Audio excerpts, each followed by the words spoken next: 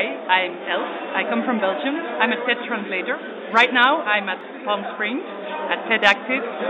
Positive thinking to me is trying to make an impact to the world.